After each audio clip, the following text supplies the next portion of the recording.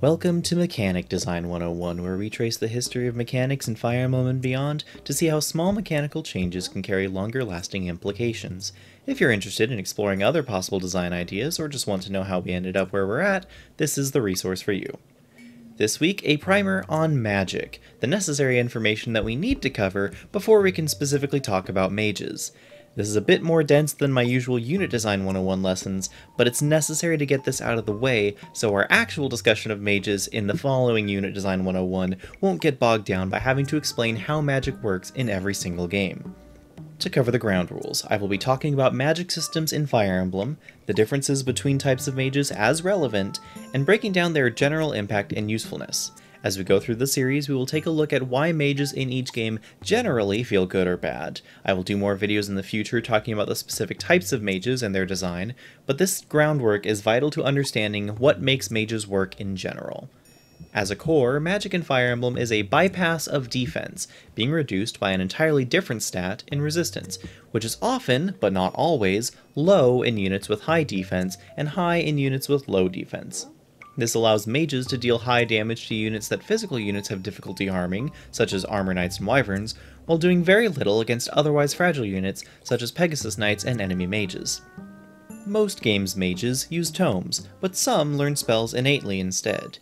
Magic is generally very flexible, with 1 to 2 range being standard, and often having higher accuracy than physical weapons, though often with a steeper accuracy drop off for higher rank spells. Spells are also the most likely weapons to have special effects, be it increased range, life drain, special damage calculations, stat reduction, or more. If a game has any special weapon effects outside of effective damage against types, you're most likely to find them in spells. Magic also has changed more across the series than anything else. In FE1, there was no magic stat. Fire would always do 5 damage, whether it was cast by a level 1 mage or a level 20 bishop. This made unique tome access, like Merric's 13 damage 100 accuracy Excalibur, or Linde's 20 damage Aura, a very notable quality for the unpromoted mages of FE1 that pre-promotes didn't get. In both FE1 and Gaiden, spells bypass terrain avoid, making mages experts at attacking entrenched positions, like bosses on gates and thrones, or pretty much any defensive terrain in Gaiden. And speaking of Gaiden, magic there was changed drastically along with the weapon system. Mages learn spells innately after leveling up a certain number of times, and cast spells with an HP cost instead of spending weapon uses. This learned magic system wouldn't return until Shadows of Valentia, Gaiden's remake, and Three Houses, with some additional changes. Mages also increased spell damage using the power stat in Gaiden, just like physical units would with weapons, and resistance was present on most units, though with no growths, so a unit's base resistance was pretty much all they had female and male mages were also split into different class lines, with female mages going into Priestess, FE's first hybrid physical magical class, and male mages promoting into Sage with an HP restoring adjacency effect. Generally all mages have some usefulness in Gaiden, with the only thing affecting spell accuracy being luck, but tend to feel like glass cannons because of the high HP cost of the more powerful spells. Mystery of the Emblem introduced the first Siege Tomes, or dedicated long-range magic spells. These tomes have high weight and power, can attack at up to 10 range, and are very rarely given to the player, often only appearing as one or maybe two copies of each siege tome if at all. Generally, enemies get siege tomes roughly halfway through the game, starting on bosses, but broadly being given to awkwardly placed mages or sages to threaten large sections of the map in similar ways to the ballistas of future games. Genealogy split Strength and Magic, a split that has lasted every game since, except for the GBA games and SOV. In a split that has been more divisive, Genealogy split spells into multiple types fire, thunder, wind, light, and dark, with different classes being restricted to different spell types. Most future games in the series have accounted for this divide in some way, but seldom in the specific pattern of FE4. In terms of effectiveness, mages and genealogy were a mixed bag. Having low movement and limited spell options, mages often were only as good as the tomes that they had access to, requiring specific attention and focus to level up to the point of self-sufficiency beyond powerful tools like Light and Forseti. You also had a split between mage classes, some of which would become sages that could use staves, others which would become mage knights who got horses, and still others would become mage fighters who got swords. Mage Knights are by far the most mobile class and generally were preferred for combat, while the staff axis of sages was high utility, and the sword axis of mage fighters was rarely relevant. Thracia introduced trainable weapon ranks, which, when combined with the magic type split, made training a mage to use a particularly high ranked tome like Meteor or Blizzard take dedicated effort. Mages with good starting ranks or powerful personal spells like Asbel with Grafcalibur were game defining in power, but mages with poor starts like Miranda were far worse than prior games mages tended to be. Thracia also introduced more spells with unique effects beyond Nosferatu's life drain, such as poison, stone, or hell, and set the precedent that dark magic was for unique effects. At least for enemies, because despite Salem's propensity to use dark magic, these spells were either inaccessible or had their extra effects removed when used by the player. The GBA games removed the anima split but retained the light-dark anima triangle. Subdivision of the mage classes followed suit, Fast and skillful monks got the weaker and crit-focused light magic. Well-balanced mages got a variety of damage, accuracy, and weights to pick from in the anima spell list, and stronger, bulkier shamans got the rare, special effect-ridden dark magic. This ended up meaning that anima mages were generally the best, as they had far more options to pick from when balancing between damage, accuracy, and weight, Shamans were limited to flux for most situations, and monks had a poor selection of weapons with iffy accuracy and horribly high weight for mediocre damage and only decent crit, meaning both shamans and monks needed higher stats than mages to perform similarly, outside of the unique niche that shamans provided via Nosferatu and Luna. Moving along, in Path of Radiance, magic was split back to the Thracia era, with Anima being split into Fire, Thunder, and Wind, Dark magic being removed, and Light magic re-inheriting Nosferatu, the three tracks of elemental magic were given effective damage fire against beasts, wind against flyers, and thunder against dragons. Now, this might seem like magic was given a useful anti Laguz niche, and it was true that Laguz generally sported lower resistance than defense. However, with each magic type being ranked up separately, the spells themselves being very weak, and effective damage only doubling weapon might, mages did not prove to be effective Laguz counters. Additional factors led to mages being even worse than other units, including but not limited to an increase of plus 1 mobility for every class except mages compared to GBA mobility, much higher resistance on most units in general compared to prior games, and generally subpar stats in terms of bases, growths, and caps. If you want a more detailed breakdown of all the failings of mages in Path of Radiance and Radiant Dawn, I have another video going into detail on exactly that topic.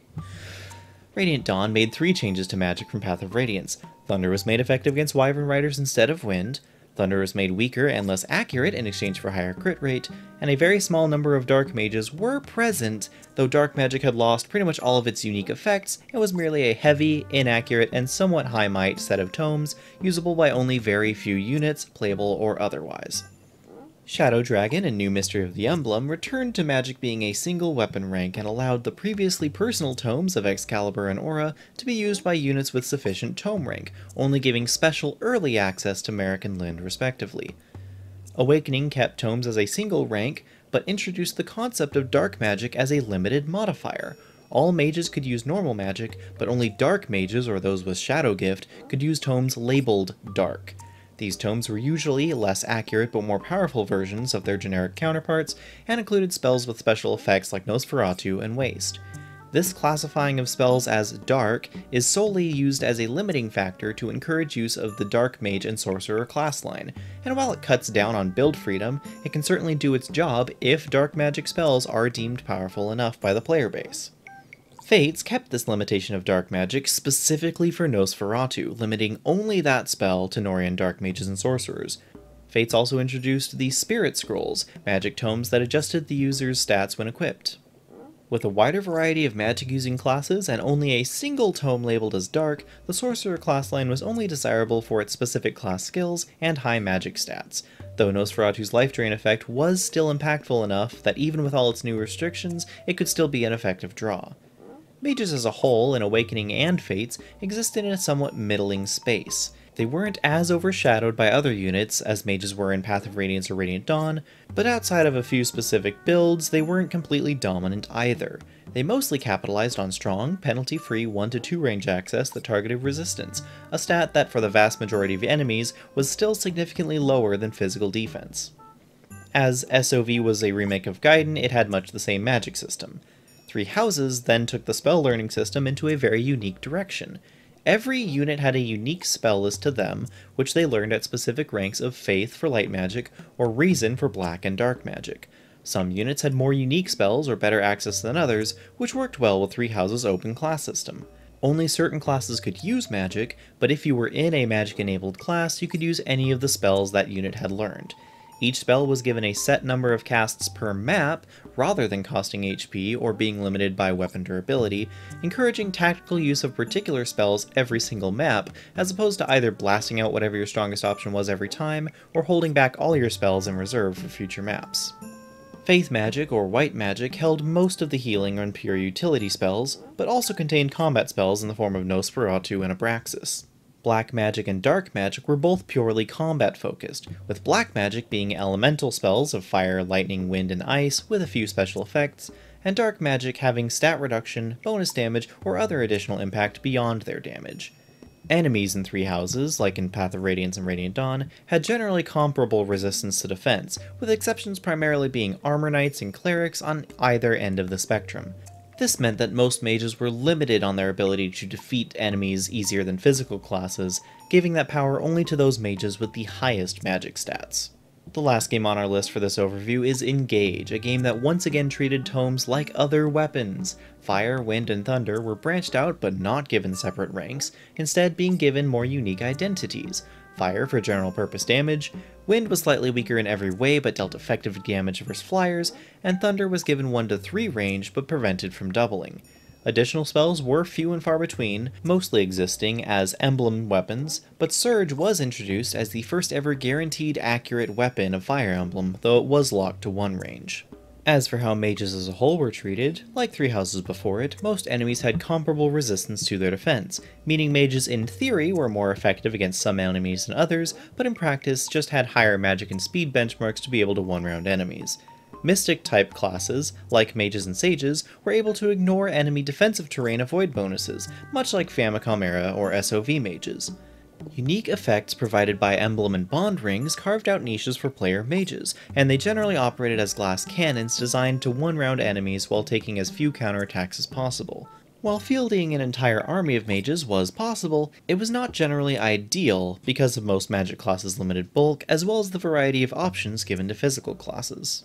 So, that's the rundown of magic across the series. I apologize for the bulk of the topic, but what conclusions can be drawn from all of this information?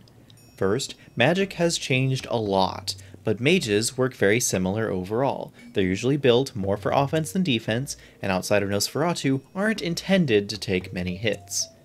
2. Magic has broadly been consistent with its versatility. While not all games feature spells with unique effects, Magic was always a readily available 1 to 2 range option that feels ready-made for killing specific targets, notably Armor Knights and some bosses. 3. Magic is more impacted by resistance design than by spell design itself. As resistance became higher across more enemy types, Magic became more prone to looking for high burst damage against specific targets rather than using weak accurate spells on everything. This was only inverted in FE1 by its lack of a magic power stat, encouraging the use of stronger spells on a regular basis. And 4. Spell restrictions should be meaningful. If you lock high-end spells behind a high magic rank, they should feel worthwhile to rank up to get. If you lock dark magic behind a particular class line, make those spells unique enough to encourage the use of that class line over another type of mage. And those are all my big takeaways for magic in Fire Emblem. If you learned anything I didn't highlight or wanted to point out something I missed, feel free to do that in the comments or on Discord. A big thanks to channel members C2 Peekly, Enigmatic Mr. L, The Big Herman 007, and Bro Duderman for keeping me going on this, and until next time, this is Mythril Zenith signing out.